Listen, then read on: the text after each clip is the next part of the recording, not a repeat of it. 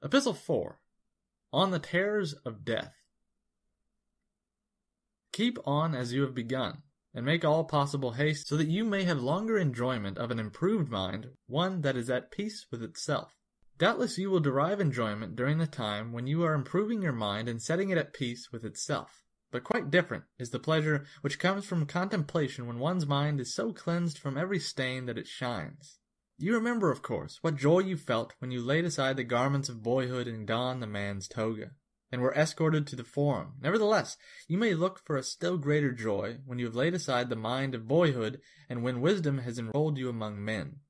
For it is not boyhood that still stays with us, but something worse, boyishness. And this condition is all the more serious because we possess the authority of old age, together with the follies of boyhood, indeed even the follies of infancy. Boys fear trifles, children fear shadows, we fear both. All you need to do is advance. You will thus understand that some things are less to be dreaded precisely because they inspire us with great fear. No evil is great which is the last evil of all. Death arrives.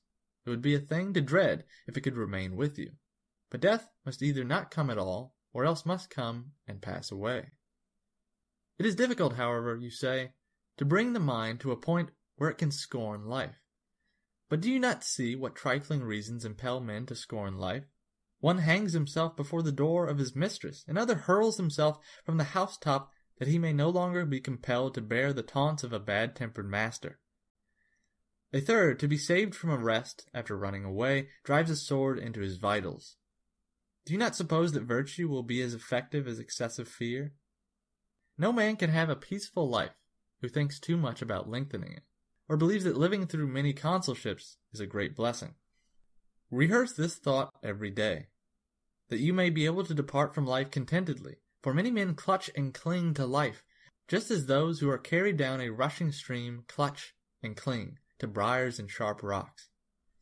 Most men ebb and flow in wretchedness between the fear of death and the hardships of life. They are unwilling to live, and yet they do know how to die. For this reason, make life as a whole agreement to yourself by banishing all worry about it. No good thing renders its possessor happy, unless his mind is reconciled to the possibility of loss. Nothing, however, is lost with less discomfort than that which, when lost, cannot be missed. Therefore, encourage and toughen your, your spirit against the mishaps that afflict even the most powerful. For example, the fate of Pompey was settled by a boy and a eunuch that of Crassus by a cruel and insolent Parthian. Gaius Caesar ordered Lepidus to bare his neck for the acts of the tribune Dexter, and he himself offered his own throat to Chaerea. No man has ever been so far advanced by fortune that she did not threaten him as greatly as she had previously indulged him. Do not trust her seeming calm. In a moment the sea is moved to its depths. The very day the ships have made a brave show in the games, they are engulfed. Reflect that a highwayman or an enemy may cut your throat, and, though he is not your master, every slave wields the power of life and death over you. Therefore I declare to you, he is Lord of your life that scorns his own. Think of those who have perished through plots in their own homes, slain either openly or by guile. You will then understand that just as many have been killed by angry slaves as by angry kings, what matter, therefore, how powerful he be whom you fear? When every one possesses the power which inspires your fear. But, you will say, if you should chance to fall into the hands of the enemy, the conqueror will command that you be led away. Yes, whither you are already being led.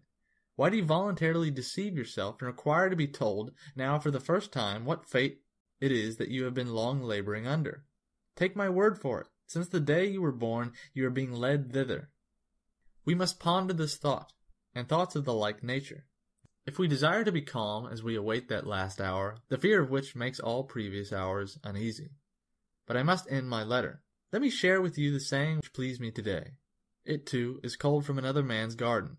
The saying goes, Poverty, brought with great conformity with the law of nature, is great wealth. Do you know what limits that law of nature ordains for us? Merely to avert hunger, thirst, and cold. In order to banish hunger and thirst, it is not necessary for you to pay court at the doors of the purse proud, or to submit to the stern frown, or to the kindness that humiliates. Nor is it necessary for you to scour the seas, or go campaigning.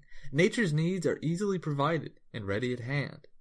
It is for the superfluous things that men sweat, the superfluous things that wear our togas threadbare, that force us to grow old in camp, that dash us upon foreign shores. That which is enough is ready in our hands. He who has made a fair compact with poverty is rich. Farewell.